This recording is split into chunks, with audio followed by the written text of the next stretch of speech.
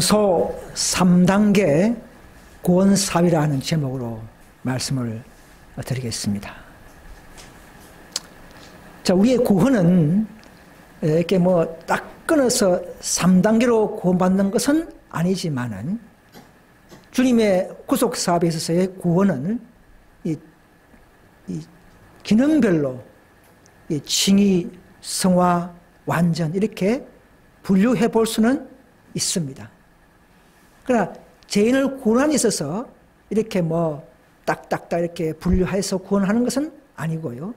우리의 경험적인 측면에서 기능으로 분류하면서 우리는 살펴볼 수가 있는 것입니다. 자, 10편에 보시면 77편 13절이죠. 오 하나님이여 주의 길이 성소에 있으니라고 했습니다. 주의 길이 성소이기 때문에 우리는 성소를 연구하면서 주님이 우리를 위해서 마련하신 그 길을 따라가는 것이 바람직한 것입니다. 자, 그래서 우리가 히브리서 보면 그러므로 하늘에 있는 것들의 모형은 이런 것들로서 정결케 할 필요가 있었으나 이렇게 했죠.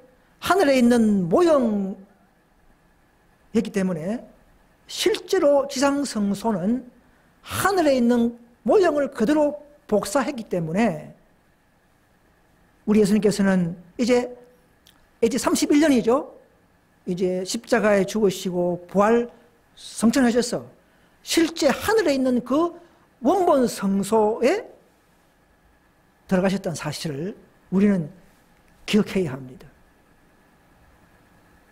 그래서 이 땅에 있는 뭐 인간이 만든 성, 성전 또 뭐 제3성전 뭐 짓는다 이것은 필요가 없고 그곳에는 하나님이 임재하지 않습니다.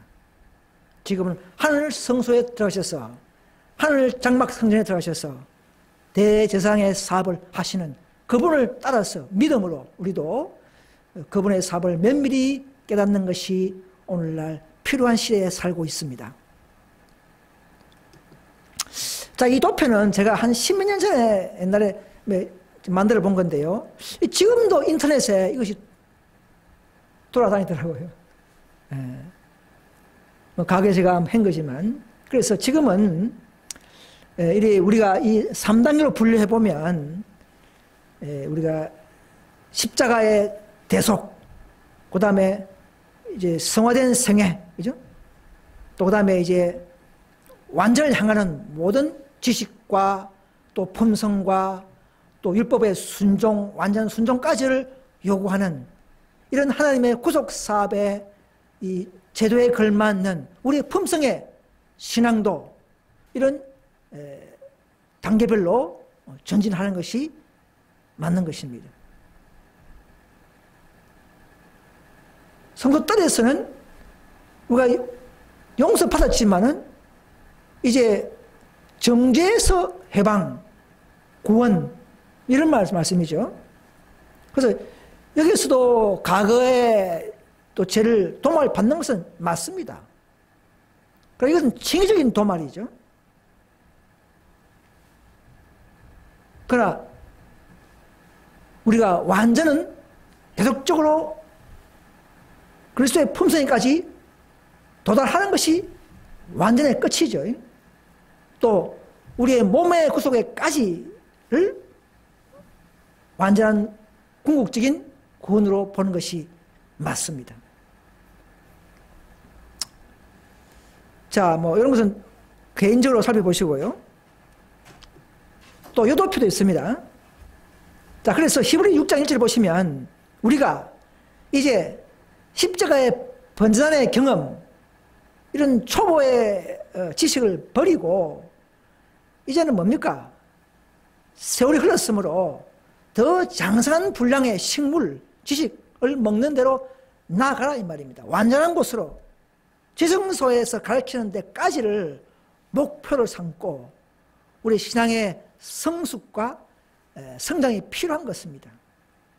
우리가 항상 주님과 신뢰하고 교제해 나가면 주님께서는 우리를 더 높은 품성의 위치와 능력으로 끌어올릴 수 있기 때문에 우리는 그분을 따라 지성소로 믿음으로 들어가서 지성소의 놀라운 지식과 품성과 그분의 영광들을 우리는 어, 먹어야 하는 것입니다.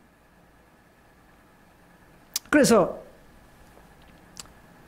우리가 이 성소 뜰에서 우리가 정말 예수를 믿고 회개할 때에 용서받고 구원 받았습니다. 그죠? 네. 생명을 얻었어요. 오직 믿음으로만 우리는 구원을 얻는 것입니다. 그때는 그래서 우리가 입문할 때 믿을 때에 뭐 안실 지키는 거뭐 보고 뭐 착한 거 보고 구원하는 것이 아니고 오직 회개하고 고백하고 그분을 붙잡는 믿음을 가질 때에 우리는 그 믿음을 보시고 믿음만으로 우리는 구원을 얻는 것입니다. 하나님의 자녀가 되는 것입니다. 그러나 우리가 십자가 강도처럼 바로 믿고 죽으면 끝나지만은 우리 인생이 살아있다면 앞으로 살아가야 할 삶이 있다면 또 우리는 또 전진하고 또 성화되고 또 여러 가지 또 변수가 생기겠죠.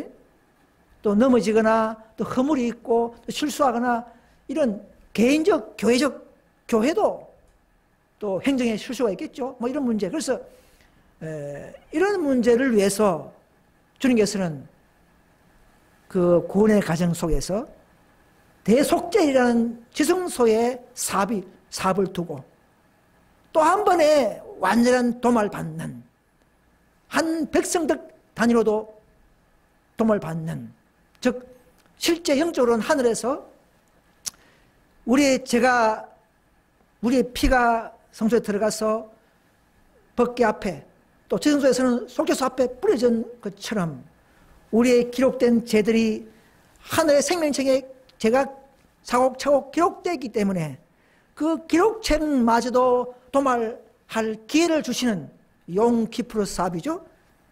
대속제일이 1년에 1차 있는 이것이 바로 최성소의 사업을 어, 중심적인 이 사업을 깨닫는 것이 오늘날 필요한 것입니다.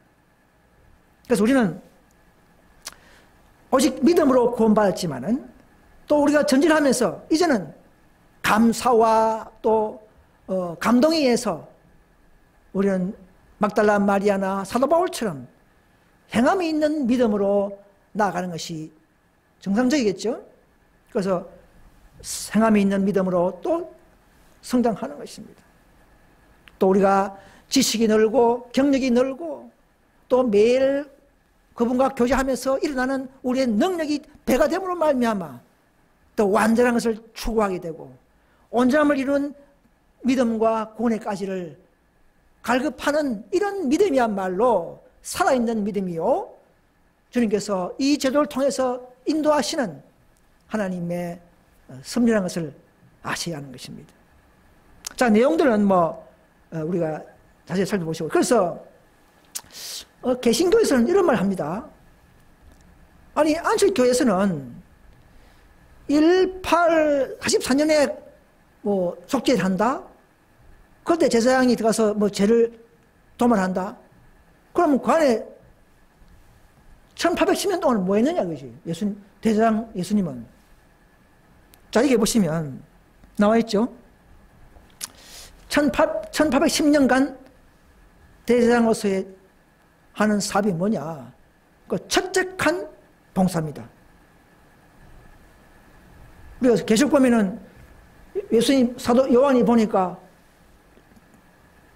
촛대 사회를 거니시는 예수님 있죠, 그죠? 그래서 첫째 칸에서는 또 하실 사업이 있습니다. 대상이라도 성소 뜰과 첫째 칸에서 해야 할 사업을 약 1800년을 하고 있었던 것이죠. 그것은 뭐냐면, 음, 출애기 30장 7절에 보시면, 어, 대상 아론이 금초 때에 촛불을 감금하고 이제 정리하고 또 이렇게 이제 불 붙이는 것은 대제상이 해야 할 사업입니다. 그래서 일곱 촛대를 그리시는 예수님 나오죠. 계시록 1장 2절에 1장과 2장에 그래서 어, 그런 일들 또 분향단에 향을 피우는 것은 대제상이 해야 할 사업입니다. 우리가 중세기부터 많은 의인들의 기도, 호소, 이런 신원을 요구하는 이런 모든 것을 듣는 예수님께서 아버지 앞에 그것을 듣고 모아서 자기의 피를 보시고 용서달라고 하고 또 간간히 중보하시는 그 사업이 바로 1800년간 그리 해오신다는 것이죠. 초착한 봉사예요. 그러나 18 사자년부터는 뭐 하느냐? 이제는 1년에 1차 하시는 대속절 사업을 그때 하신다고 들어간다는 것이죠. 그때 뭐 대세상 됐다는 것이 아니고 대세상이라도 이미 체험되어 이미 취임하시고 아버지 보좌 옆에 앉았다 할지라도 1년에 1차만 하는 사업이 있겠죠. 그것이 바로 용키프라는 사업, 속죄일의 사업이라는 것을 개신교에 다니시는 분들은 깨달으셔야 하는 것입니다. 그래서 이층에서는 더 완전한 품성과 믿음으로 율법의 일천 생애를 요구하고 또 그를 자들에게 죄를 완전히 제거하고 도마시키는 놀라운 일을 하는 장소가 바로 지성소라는 사실을 아시는 것입니다. 아셔야 하는 것입니다. 그래서 이, 에, 이 즉, 성소신학, 성소와 연결되어서 구원의 길을 깨닫는 이것은요, 언제부터 그랬냐면은, 윌람 밀로운동 때에, 재림운동 때에 18 사진년 때부터 그때 발견된 것이에요. 그래서 때를 연구하다가 2300주의 끝을 연구하다가 아 나중에는 때와 관계에 대한 구원의 길을 발견하게 해주신 것이죠 하나님께서 그렇게 해서 구원사 십자가에서 구원받았다 해방되었다 영생했다 맞지만 그러나 그 구원이 그 우리의 생명이 또 그 영생이 결국은 더 완전한 믿음으로 이끄시는 하나님의 구속 사업을 발견한 것이죠. 그래서 이 밀려 운동 때에 이런 성소와 접목된 구원의 사업을 구속 사업을 깨닫는 것은 그때 시작된 것이죠. 그러니까 그 앞에 생긴 개신교회는 장로교, 감리교, 뭐 침례교 이런 순봉교 이런, 이런 단체들은 성소와 연결된 구원을 배우지 않고 십자가에서 주신 무한한 은혜, 무한한 사랑, 그분의 대속, 그분의 은혜, 그분의 영생 주심 이것만 가르치기 때문에 배우지 못 배우지 못한 그들은 우리 보고 뭐라 합니까? 이단이다 하지 않습니다. 그뭐 우리 인정할 수 있어요. 예. 빛을 모르는 자들의 그 개념은 그게 정상인 것입니다. 그래서 오늘 저는 다시 한번 이런 성소제도를 통해서 주님의 계획하신 대로 따라가는 것이 그게 오직 성경이요. 오직 믿음이라는 사실을 말씀드리고 싶습니다. 그래서 도의 촉을 버리고 더 완전한 지성소의 지식과 믿음과 그 능력을 받기 위해서 나아가는 것이죠. 그래서 믿음으로 사는 우리들에게 죄를 완전히 기억 속에서까지 제거시켜버리는 즉 개인의 성전 또 하늘의 성전까지를 정결케 하는 그러므로 말미암아 우리의 품성에서 제가 끝나게 되는 이 놀라운 일들이 이 시대에 지성소에서 계획하고 있음을 우리는 알아야 하는 것입니다. 마지막 한 남은 무리가 이것을 바르게 가르쳐서 모든 우리의 박혀 있는 형제들에게 천주교나 개신교 형제들에게 알려야 할 의무가 우리에게 있는 것입니다.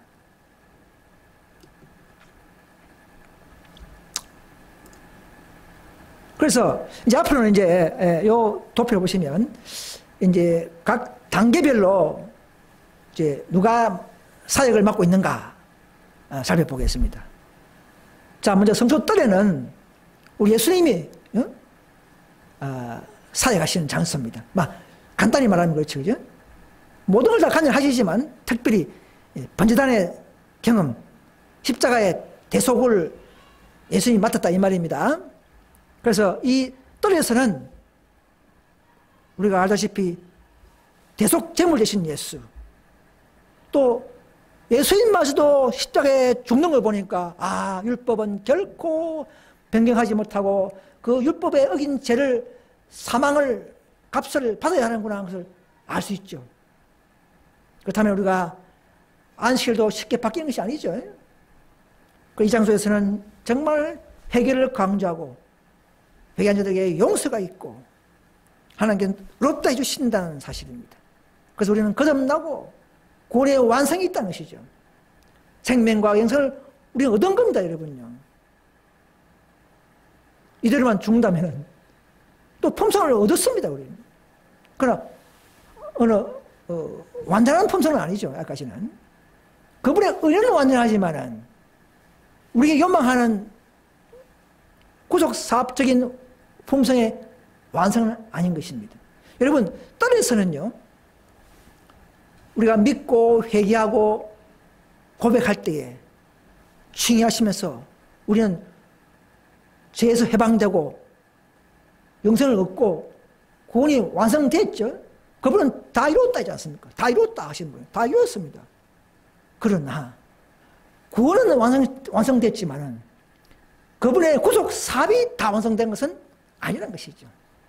구속 사업의 완성은 저성소에 와서 대속죄를 사업을 끝낼 때에 아사셀 염소에게 그 죄를 정, 전수시키고 내보내는 이런 상징적인 표상처럼 완전한 한백성적 도말이 일어날 때에 하늘 기록책의 죄들을 삭제하는 그런 일에까지 용 키프로 때 와서 우리의 궁극적인 구원과 삽이 끝난다는 사실을 이제 알아야 하는 것입니다. 우리는 이제 배웠기 때문에. 네. 개신교의 분들도 이렇게 배우셔야 하는 것입니다. 그래서 지구의 모든 구속과 중보와 심판은 우리 아들 예수님이 다 이름 받으셨습니다. 그분은 아버지와 인간 사이에 화목 제물로 오신 분입니다. 성육신으로 오신 분이죠. 그래서 그분은 오셔서 사탄의 시험에 승리하셨고 인간이 어긴 율법을 직접 육신의 몸으로도 복종하시고 십자가에서 인간이 지은 죄를 다 값을 사망으로 대속하시고 그렇게 해서 우리를 구속하시면서 승리하셨기 때문에 그분은 모든 믿는 자들에게 영생을 주실 수 있는 행사를 하실 수가 있는 것입니다. 그래서 이제는 성령을 통하여 모든 자들에게 믿는 자들의 마음에 함께 지금도 하시는 것입니다.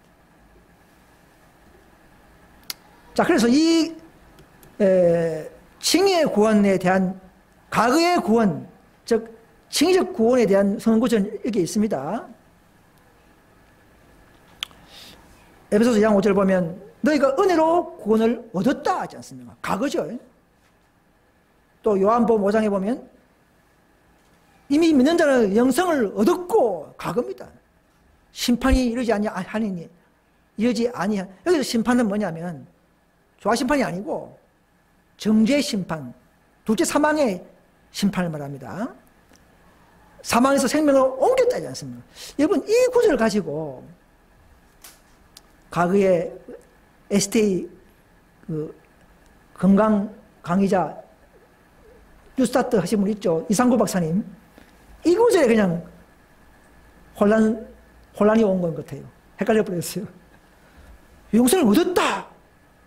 생명을 옮겼는데 뭐 또 대속죄에 또 죄를 회개해야 되느냐 이렇게 하면서 결국은 안식을 떠나서 개신 같지 않습니까? 그분이 예, 참 내가 볼 때는 어, 품성을 뭔가 참 좋으신 분인데 그죠? 강의도 잘하시고 건강에 대해서는 그러나 이런 직능적 구원의 사업을 하지 못한 것인지 뭐 잘 모르겠지만 아무튼 나갔어요. 음. 뭐 개인적인 뭐 이심에서 나간 그런 건잘 모르겠지만 그러나 이것은 떨려도 그분은 완전한 구원을 이루셨습니다. 뭐 불완전한 구원이 아니에요. 그러나 구속 사업적인 또 완전히 있다는 것이죠. 그래서 이 말이 틀린 게 아닙니다. 생명을 얻었습니다. 십자가 강도가 생명을 안 얻었습니까? 얻었습니다. 그러나 십자가 강도도 살아있다면 십자가에 내려와서 살아 있, 살아가야 할 삶이 있다면 교회 안 나가겠습니까? 그분이 정말 하는 은혜를 받고 정말 그분의 어, 칭의받은 자가 아 나는 뭐 용서 받았어 구원 받았어 나는 교회 갈 필요 없어 그래 하시겠습니까? 또 살아있다면 우리는 성화된 생애를 살아야 할 그런 믿음이 형성될 수밖에 없는 그런 칭의 그런 거룩함을 얻은 자들이라는 것이죠 예. 그것이 이렇게 예. 믿음에서 믿음으로 생명에서 생명으로 더 완전한 대로 나아가는 그래 우리의 강건함이 우리 속에서 있는 것입니다. 그런데 이상 목사님이 이걸 다 이해를 못하는 것 같아요. 내가 보니까.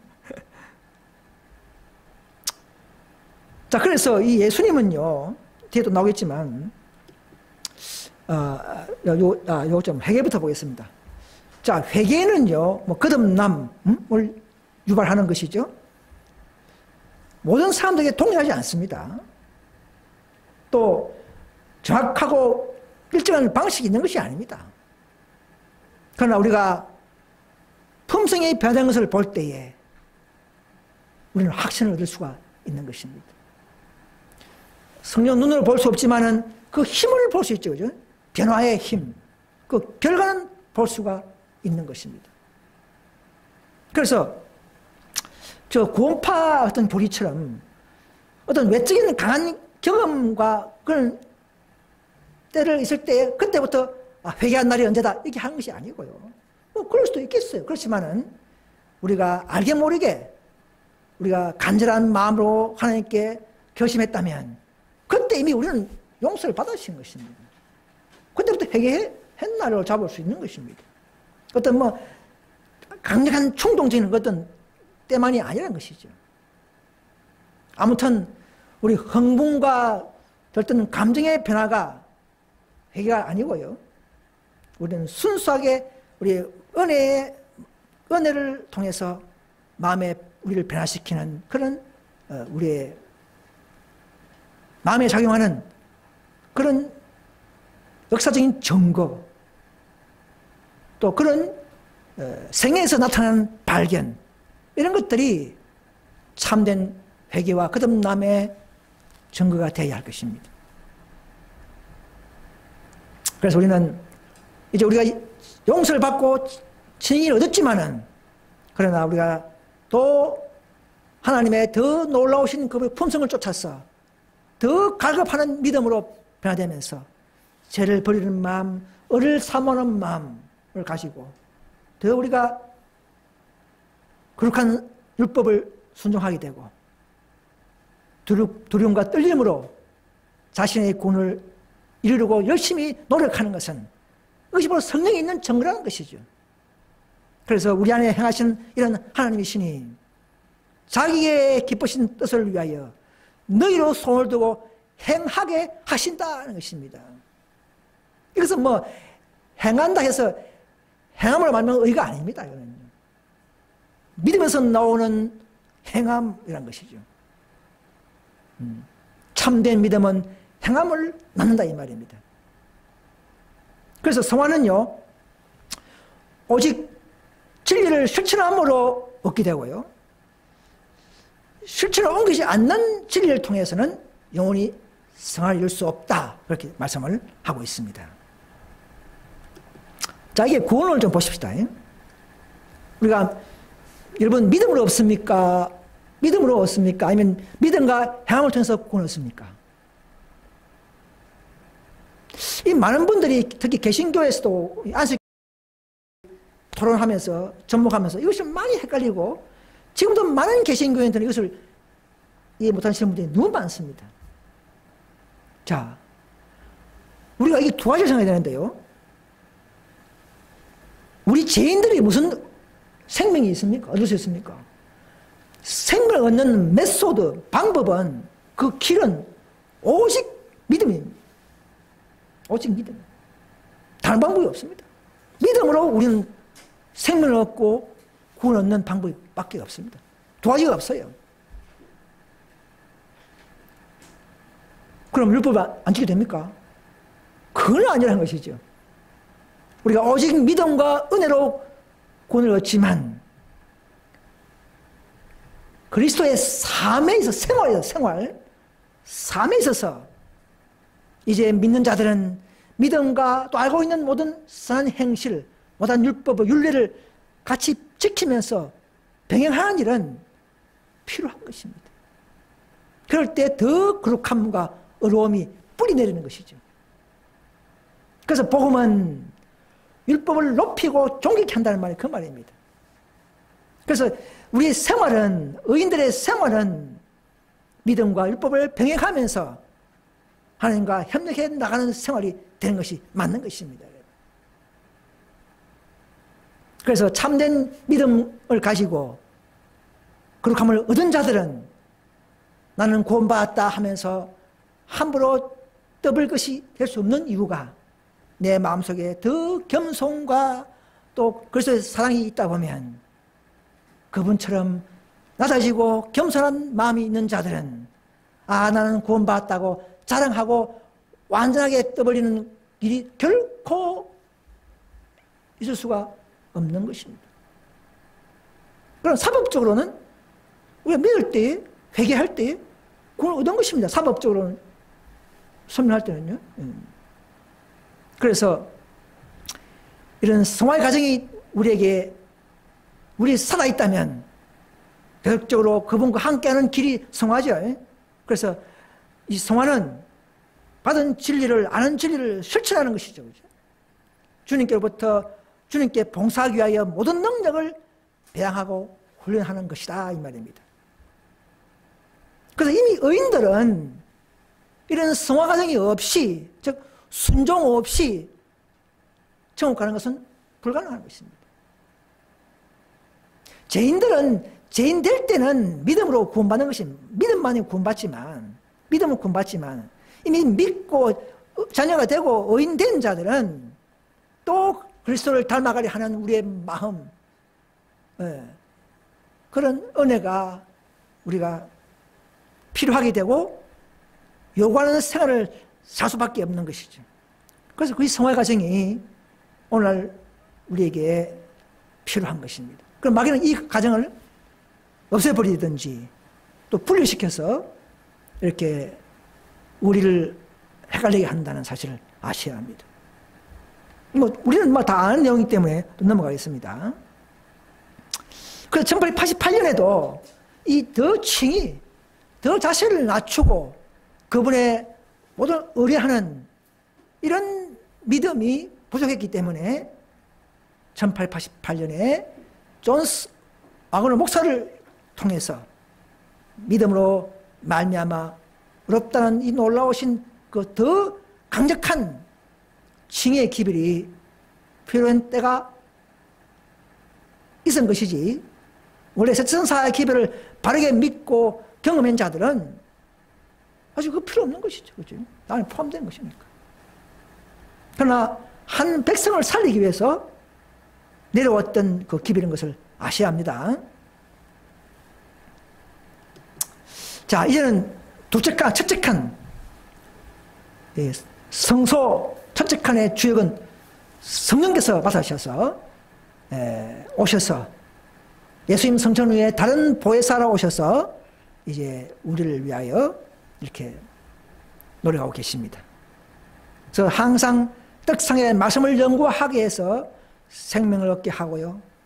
또 우리가 매일 기도하는 삶을 통해서 하나님과 교제를 끈끈하게 하고 또 우리가 전도할 때와 봉사할 때또 빛을 드러내고 나눠주는 일도 성령께서 함께 하실 것입니다.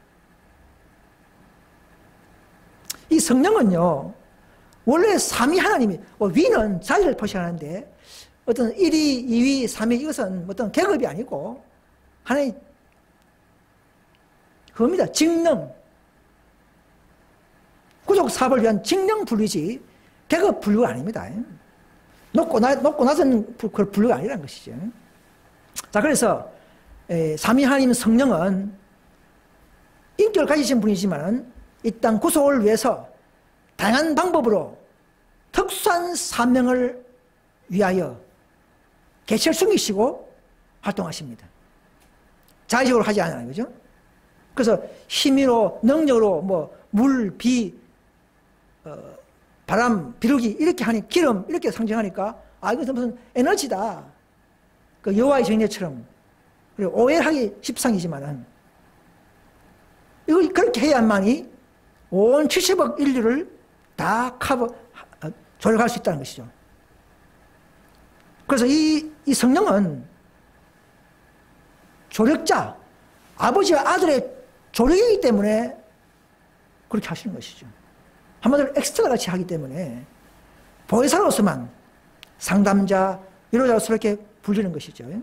그래서 이 성령은 그리스도의 영, 아들의 영 이렇게 하는 이유는 뭐냐면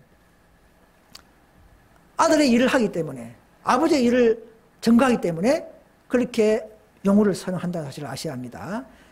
예수님을 증거하는 사이이기 때문에 아들의 영 이렇게 하는 것입니다. 뭐 아들의 뭐 능력 이게 아니고요. 그래서 그분은 죄와 죄가 무엇인지 의가 무엇인지 또 진리를 밝히시고 깨닫게 하셔서 우리 마음에 임재하시는 것입니다. 즉 의의 교사가 지금도 되셔서 누군지 찾는 자마다 또 회개한 자마다 성령께서는 우리를 우리와 함께 하셔서 우리를 인도하실 것입니다. 그래서 성령이 없으면 우리는 죄를 이길 수 없고 회개와 품성 변화가 불가능하겠죠. 그래서 이 성화는 이미 의인된 우리가 거룩함을 얻은 우리가 받은 칭의를 잘 유지 보존하기 위해서도 우리는 자신과 싸우는 데에 이 성령을 힘을 얻어서 싸워야 되는 필성의 살인 것입니다. 이 성화야 것이죠. 성화 없이 여러분 의인들이 하늘 가는 것은 불가능한 것입니다. 살아있다면 우리 예수님 올 때까지 이 4번 자기의 자아와 안팎, 안팎으로의 유혹과 세상의 모든 이런 것들과의 우리는 싸워야 하는 것입니다. 누구도 예외가 없죠, 그죠? 그래서 예수님이 십자가에서 다 이뤘다. 이 말은 과거, 현재, 미래 모든 죄를 다 속죄하셨다. 그 말인데요. 이게 뭐냐면, 그러면 내 미래, 내 미래 죄도 속죄한다. 그것이 아니에요. 제 자체는 모든 속죄 사역을 다 값을 치운 것은 맞지만은 그것은 속죄사에게 효과와 범위를 말하는 것입니다. 그분의 십자가의 능력과 역량은 그러나 내가 내가 회개할 필요가 없다 그 말은 아니에요. 단번에 이루신 제 값을 치우셨다 그 말입니다. 모든 죄, 미래 죄까지도. 그러나 내 죄가 어, 내가 해야 할그 제회계도 하지 말라는 그런 뜻은 아닙니다. 이거는. 예. 그분의 사역에 완전한 사역, 완전한 구원을 다 장치를 마련하는 것을 말합니다. 그분이, 그분의 능력과 효과, 범위를 말하는 것입니다. 자, 성화의 구원에 대한 근거도 여기 있죠. 현재의 구원. 너희가 빌보서 보시면 항상 복종하여 두렵고 떨림으로 너희 구원을 이루라. 아니 구원 받는데 뭐 또 항상 복종해서 구원을 이루라 합니까? 그죠? 그러니까 이것도 우리는 3단계 구원의 어떤 경험적 음, 기능 부분이 있다는 사실을 아셔야 합니다. 또 보세요. 제 아들 보고 고전 15장 2절에 내 말을 잘 지키고 그런 말미암아 구원 얻으리라. 또 지켜야 구원 얻는데요. 그죠? 이미 용서받은 구원이 아니고 그것도 맞고 또 구원이 있지 않습니까? 행실까지 행실까지 거룩함 자가 되라 하지 않습니까?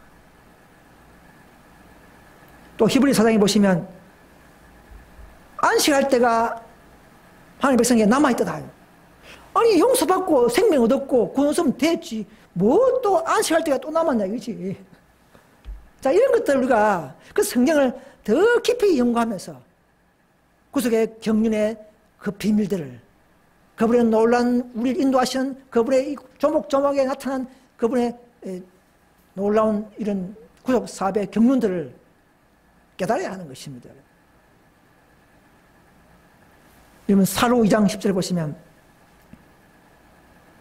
저희가 진리의 사랑을 받지 아니하여 고남을 얻지 못한다.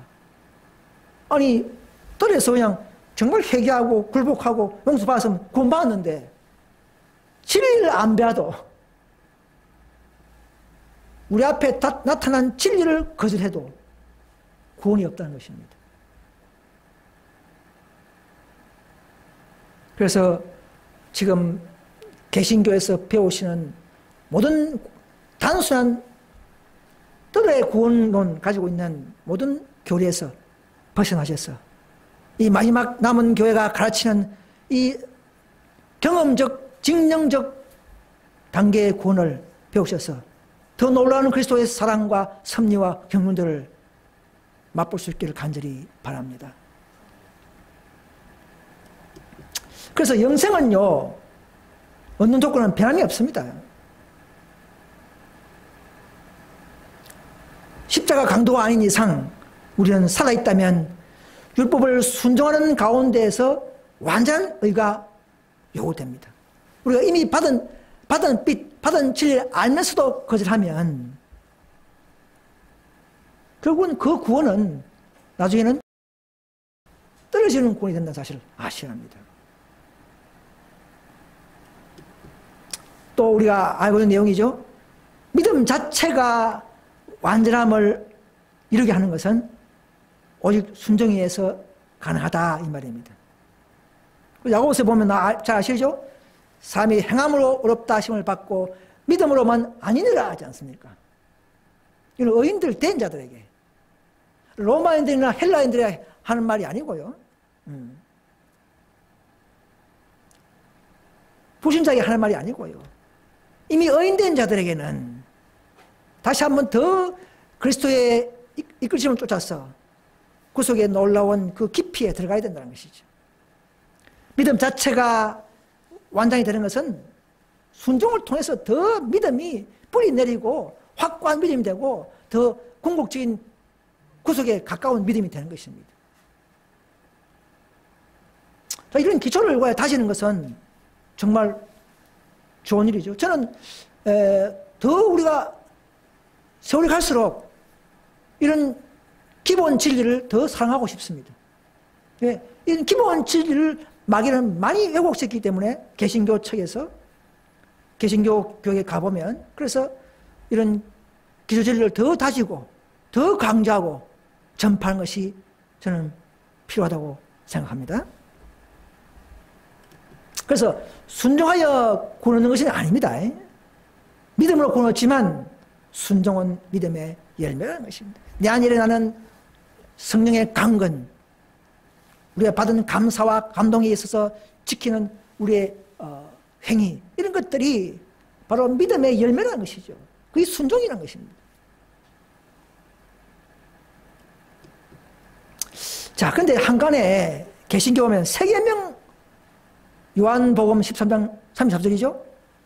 세 계명을 너에게 주노니 서로 사랑하라. 내가 너희를 사랑과 같이 너희도 서로 사랑하라. 그러니까 아 이제는 뭐 십계명 필요 없고 사랑을 하면 된다.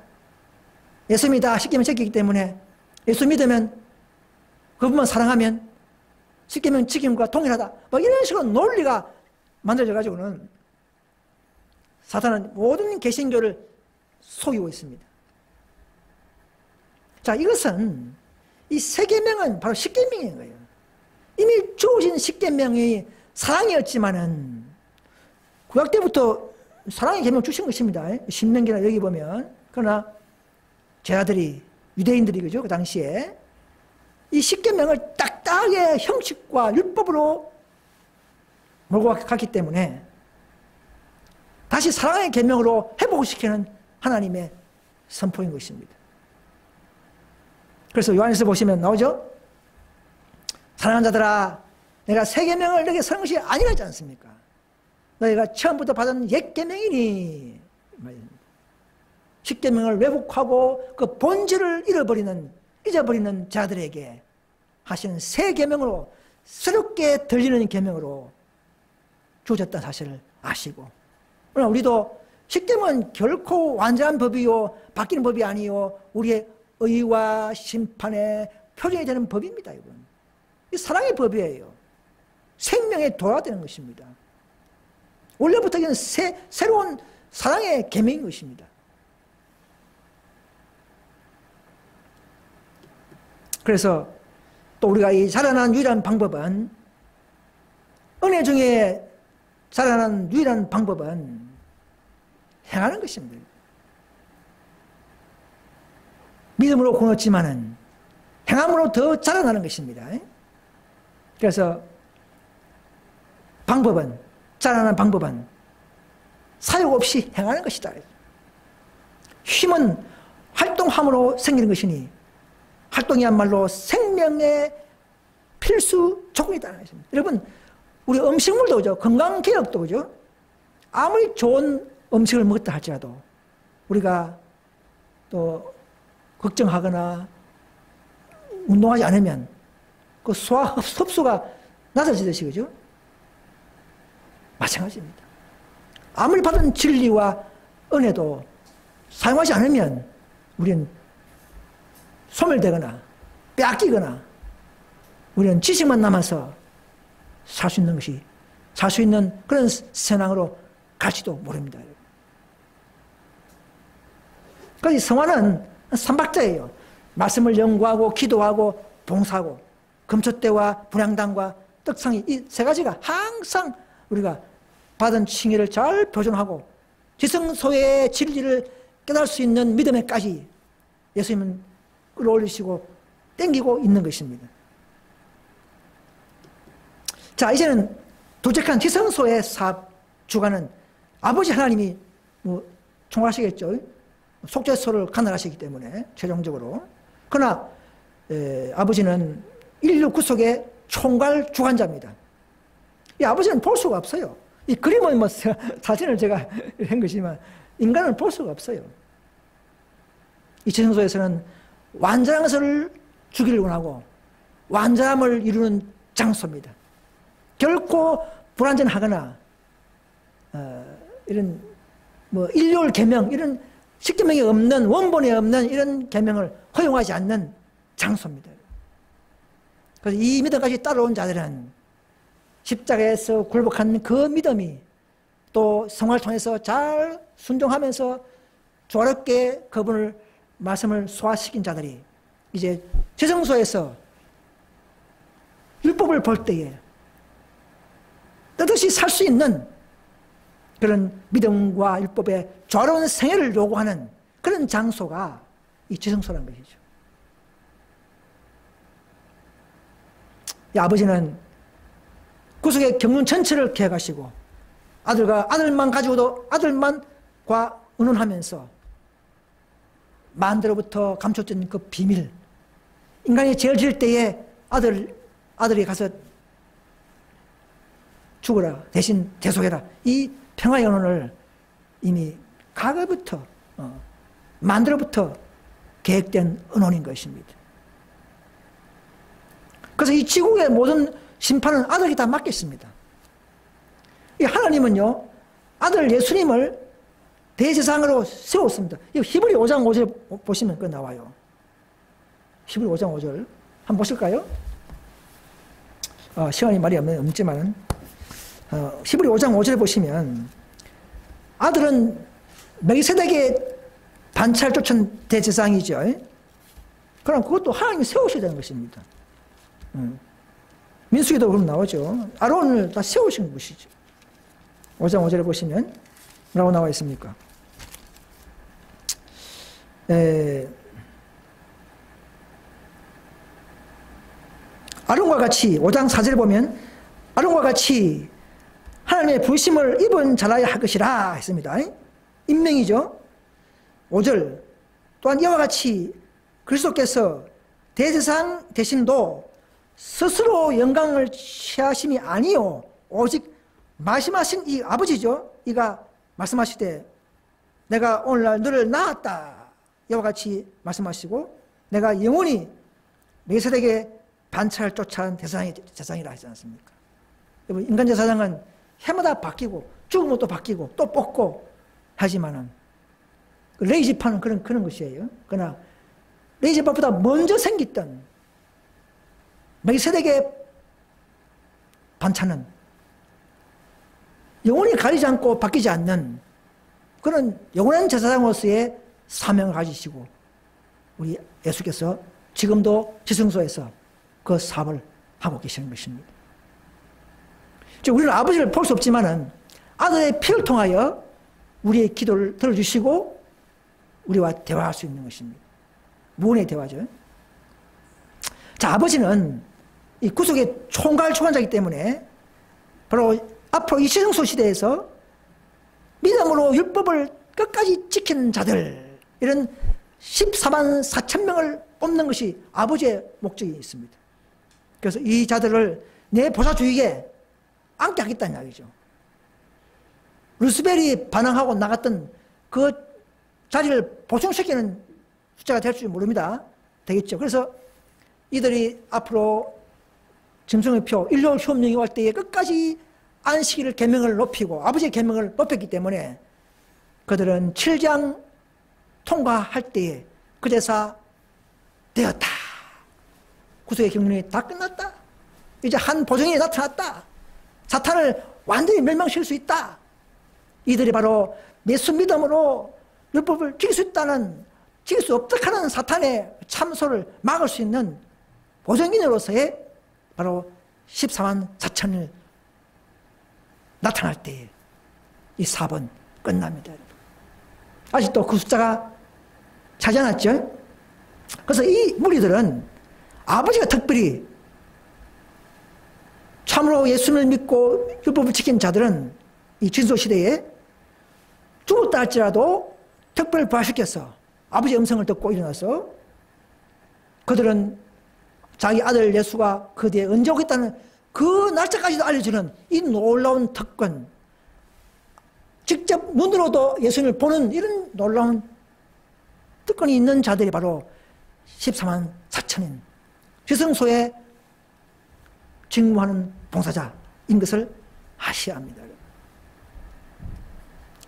시중에 신천지에서 가르치는 뭐 하나님의 교회 여호진에서 가르치는 그런 14천 명은 다 잘못된 것입니다. 제가 이걸 제가 오래 할 수 없지만 넘어가겠습니다. 그래서 또 완전함 이르는 이 구절이 있죠. 몸의 구속도 기다려야 완전히 되죠. 자다가 깰 때가 되었다. 우리의 구원이 처음 믿을 때보다 더 가까웠다. 그 구원이 더 가까웠다 이 말입니다. 아직도 구원이 남아있다는 이야기죠. 끝까지 견전 자는 구원 얻으리라. 못 견디면 아무리 칭해받다 하더라도 앞으로 다가오는 마귀의 유혹과 시험에 넘어질 뿐입니다. 그럼 구원이 없, 떨어질 뿐지 않습니까? 그래서 이 마지막이 영성인 것이죠. 믿음의 결국 꼭 영혼의 구원을 받음이라. 이렇게 해서 우리가 칭의, 성화, 완전 이런 3단계적인 이런 구원을 우리는 어, 아는 것은 하나님의 그 성품을 아는 것이요. 그분의 경륜을 아는 것이요. 하나님의 비밀을 우리가 먹는 것입니다. 따라가는 것입니다. 그래서 개신교회에서는 더 이상 거기서 배웠던 단순한 뜰의 복음만 믿지 마시고 이 성서에 나타난 다양한 하나님의 섭리와 경문들을 듣고 배우셔서 참 진리가 있는 곳에 오는 것이 하나님의 뜻인 줄 그렇게 해서 바로 14만 천명에 얻을 수 있는 품성, 능력까지도 약속되어 있는 이런 어, 진리교회에 합류하시길 간절히 소망합니다. 십계명은 그래서 하나님의 보좌처럼 결코 변치 않습니다. 그죠? 지금도 성령을 통해서 선하게 약속한 내 법을 저희 마음에 두고 생각에 기록한다는 것입니다. 십계명을 어.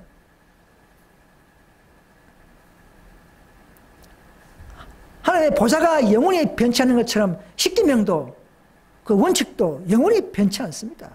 뭐 안식일이 뭐 어? 인류를 변경했다. 그건 절대 그건 신학적인 논리지. 하나님의 성경에는 그런 말이 없습니다. 하늘에 가서도 우리는 하늘 동산에서도 이 그 십계명을 사랑의 율법으로 다 기쁘게 순종하는 계명인 것을 아셔야 합니다. 자, 이 지성소의 사항을 좀 말씀드리겠습니다. 예. 지금 우리가 어떤 시대, 어떤 입장에 살고 있는가를 아는 것이 참 중요합니다.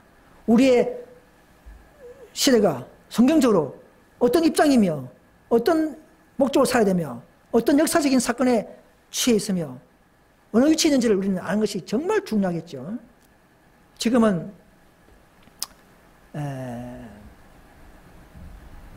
라우디의 교회 시대 마지막 교회 시대죠. 살고 있습니다. 또 어, 일곱 인 중에서 여섯째 인을 띈 상입니다. 일곱째 인은 바로 재림을 말하기 때문에 지금 재림 직전에 여섯째 인의 시대에 살고 있습니다. 또 일곱 나팔 속에서 나팔은 일곱째 나팔을 불린 시대에 살고 있습니다. 뭡니까? 1844년부터 지성소의 모든 비밀을 알려주시고 다가오는 대속제를 준비하는 이 경고의 나팔 일곱째 나팔이죠. 그래서 말세의 구원에 필요한 모든 지식을 선자를 통하여 다 주신 말세의 구원한 복음을 주시고 믿음을 준비하는 그런 경고의 나팔을 드려야 하는 것입니다. 오늘 우리가 말한 이 모든 것들이 경고의 나팔에 포함되는 것이라고 볼 수 있습니다. 또 이 시대는 노아 때처럼 예언을 하는 선지자, 예언하는 선지자를 주시기로 약속된 시대에 살고 있습니다. 그래서 예언이 없는, 예언을, 계시가 없는 교회는 이 시대에 남은 교회는 아닙니다. 그래서 이 시대에 사는 사람들은 계시가 없는 교회에서 계시가 있는 교로 오야만이, 와야만이 자유가 있고 완전한 구원을 얻을 수가 있습니다. 그래서 장로교, 감리교, 뭐 모든 뭐 신천지 교회, 모든 교회에서는 이제는 다 이 바른 계시가 있는 교회에 오셔서 바른 품성을 성숙시키고 정과 흠이 없는 품성까지 끌어올 수 있는 지식과 경험과 어, 이런 깨달음이 있는 이런 복음을 가진 교회에 오는 것이 당연한 것입니다. 그래서 지금은 단일과 계시록이 다 열려 있는 시대이기 때문에 어, 이 계시록을 가지지 않는 교회에서는 또 나오셔서 어, 남은 교로 오셔야 됩니다. 근데 이 마귀는 중간에 이런 잘못된 교를 세워가지고 가짜 계시록, 가짜 구원자, 가짜 약속의 목자, 뭐 가짜 이런 계시록을 가르쳐가지고는 또 이 따라오는 계신교를 다 늪에 빠뜨리게 어, 하는 일을 하고 있습니다. 그래서 참 계시의 교회로 찾아올 수 있기를 간절히 소망합니다. 그 지금은 대체선사 기별로 회개와 또 분리와 더욱더 어, 죄를 버리는 이런 경험과 마지막 짐승의 표 사건을 다 알게 하는 이런 제천사 기별을 가지고 믿음으로 사는 시대요. 또 그 믿음이 순종을 이끌고 세언약처럼 가능하다는 그 보증인을 만들어내는 바로 특별한 소유 14만 4천인들을 인치고 뽑는 시대 사고 있는 것이 특징이죠. 그래서 그걸 위해서 의인들 또 조화심판을 병행하는 것입니다. 아무튼 이 사업은 오늘날 교회적으로는 계속 18장 4절에 다섯째 선사운동에 왔어야 셋째 선사의 기별을 모두 마치게 될 것입니다. 기별은 세 개밖에 뭐 특별하게 없지만 우리가 주, 주 차적인 기별은 그러나 그 이 기별을 전하고 경험하고 마칠 수 있는 단체는 다섯째까지 우리 현대실 운동까지 와야만이 세차선사의 기별과 품성과 지식과 온잠을 누릴 수 있다는 사실을 아시고 이 교회만이 참된 세차선사의 기별이 마친다는 사실을 아셔야 합니다. 야 이게 비밀이에요. 이게 교회적 비밀입니다. 음, 그렇게 해서 어쩔 수 없이 그렇게 흘러가는 것이에요. 그래서 제부장 사절의 운동에 이 운동이 열렸다면 겸손히 이 운동까지 참여하는 마음 그것이 참된 성령 있는 마음이요 성화의 길을 가는 자들의 행위가 될 줄 믿습니다. 그래서 이, 어, 이왜 그러냐면요. 10장 4절도 인간을 통해서 사시기 때문에 이 땅에 10장 4절의 운동을 하는 그 단체에 참여해야만이 늦은 비가 내리기 때문에 그런 것입니다. 늦은 비안 된다면 이 단체에 있을 필요 없어요. 그죠? 마지막 완전한 교리, 완전한 품성, 완전한 그덤난들이 대부분 모이는 그 교회에 늦은 비를 성분 아니면 줄 수밖에 없기 때문에 그런 것입니다. 그래서 이 기를 가진 단체는 이제는 짐승과 마귀와 접전이 불가피한 단체가 될 것입니다. 앞으로 이 사단은 짐승의 표, 즉 일요일 휴업령을 강요하면서 이들이 가르치는 기별의 확산을 방지하려고 또 그들은 삼종연합을 하겠죠. 천주교, 개신교, 이교 다 합쳐서 마지막 진리를 가진 교회, 참된 계시 가진 교회와 싸우는 것이 예언되어 있는 것입니다. 그래서 그 삶의 주체, 주체는 뭐냐면 예배 개명, 누구를 바르게 순종하느냐, 누구를 바르게 경배하냐 문제가 바로 예배 개명, 대체 개명, 안식일이 특별히 투쟁점이 된다는 사실을 개신교인들은 어, 빨리 깨달으셔야 합니다. 이것이 예언입니다, 여러분. 그러나 하나님은 완전한 신부교를 요구하기 때문에 진리 주시고 빛을 주지만은 특권을 주지만은 그 특권을 얼마나 잘 활용하느냐 순종하느냐에 따라서 하늘 성소의 저울의 시험에 달려서 심판도 받습니다.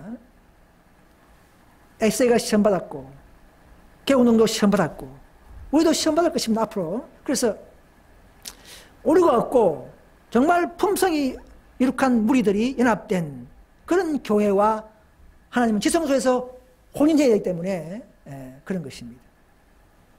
아무튼 이 기별은 어떻게 치유하느냐에 따라서 각 개인과 교회들의 운명을 좌우합니다. 그래서 이 기별을 통해서 하나님은 마지막 큰 대영적인 아마겟돈 전쟁까지 일어나는 이 운동, 이 전쟁에 믿음의 용사를 한 백성 단위로 각 나라마다 조금씩 지금 만들어가고 있는 것입니다. 한국은 가장 바른 진리를 가진 교회가 바로 우리 현대진리 운동이기 때문에 한국에서는 이 교회가 희망이 있겠죠. 음. 자랑이 아닙니다. 그래서 왜? 우리가 모든 면에서 완전하기 때문에 교리가 완전하기 때문에 희망이 있는 것입니다. 그래서 인친주 숙제수 바로 13천 명의 특징은 이런 것입니다. 여러분 이런 내용이 이런 내용을 내용대로 경험하지 않고 살지 않은 잘못된 교회들, 잘못된 14만 어, 천명의 교리는 다 거부하시기 바랍니다. 이 무리는 믿음으로 율법을 높이는 자들입니다. 핍박 속에서도 믿음으로 안식 계명을 지킨 자들입니다. 입에 거짓말이 없고 흠이 없는 품성까지를 도달한 자들입니다. 그래서 짐승의 표와 싸워 이긴 자들이 바로 인물이 된 것입니다.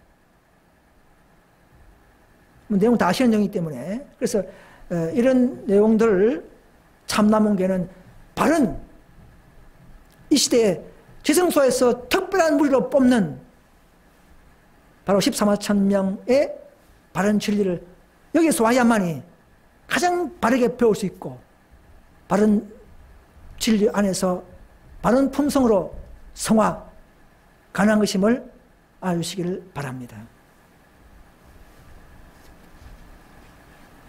여러분, 우리가 예수의, 예수님의 마음에 그분과 가까이 가면 갈수록 내 죄가 더욱 잘 보입니다. 재성소에서 주어진 모든 윤리와 율법들을 순종한 자들에게 일어나는 하나의 경험이죠. 그래서 내 죄를 많이 보고 있다면, 아, 사탄이 대신, 사탄의 능력은 미혹이 힘을 잃었구나.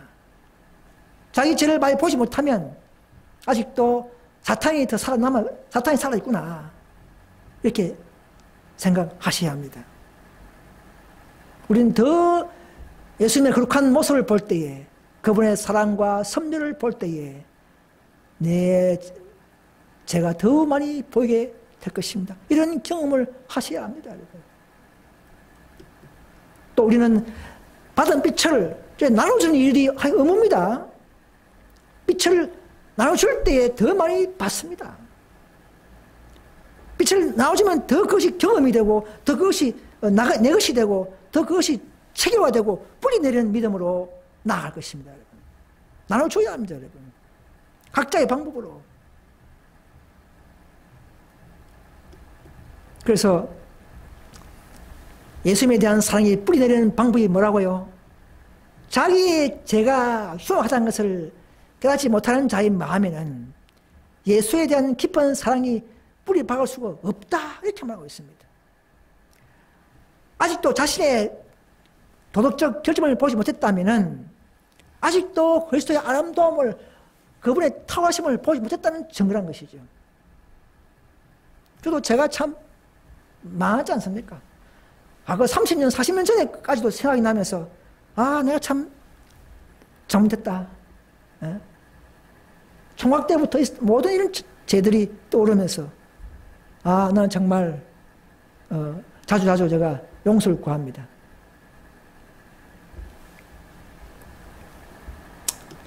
자, 고난에 동참하는 것은 또 하나의 가치 있는 신임이요, 높은 영이란 것입니다. 자, 이 구원의 경험은요, 이 다양해요, 그죠? 네. 그냥 고백하고 회개하고 이것만 아니라, 고난을 통해서도 겟세마나에, 겟세마나에서 만들어 놓은 예수님의 의를 또 하나 우리가 먹을 수 있고, 동참하는 것이 한말로 그분의 품성을 닮아가는 놀라운 가치 있는 신임이요 영이라는 것입니다. 음. 여러분 이 구속의 모든 사업은요 이런 고난과 인내를 요구합니다. 네. 그럴 때 더 우리는 그리스도의 놀라운 사랑을 맛볼 수 있지 않겠습니까? 적극적인 성화는 없습니다. 더 그분처럼 고난과 고통을 당하면서 사도 바울처럼 많은 핍박 속에서 더 조기 안에서 진주가 형성되는 것처럼 그런 가운데 더 아름다운 품성, 더 긍진 품성, 더 그분께서 어, 요구하시는 높은 표준의 장성한 분량의 품성까지를 맛볼 수 있도록 인도하시는 하나님을 따라가셔야 됩니다. 이 지성소에서는 끝까지 자신을 버리고 따라온 자들에게 모두 다 약속된 보증인 것입니다. 마지막으로 요한복음 11장 이 3절 읽고 마치겠습니다. 내가 저희 안에 아버지께서 내 안에 계셔서 저희로 온전함을 이루어 하나가 되게 하려 하면 아버지께서 나를 보내신 것과 또 나를 사랑하신 같이 저희도 사랑하신 것을 세상으로 알게 하려 함이로소이다. 이 진리 가진 교회는 세상의 구경거리가 되고 영광을 드리는 교회가 되어야 합니다. 왜냐하면 왜 진리가 있기 때문에 진리를 먹은 자들도 그렇게 지고 품성을 품성으로 드러내야 합니다. 그렇게 해서 우리 안에 예수 믿는 것 있는 것을 증거하고 우리가 다 온담을 이루어서 하나가 되게 하는 이 놀라운 구속의 경륜의 단계를 맛보고 더 함께 모여서 주님께 영광 돌리는 여러분과 저가 될 수 있기를 간절히 바라면서 말씀을 마치겠습니다. 감사합니다.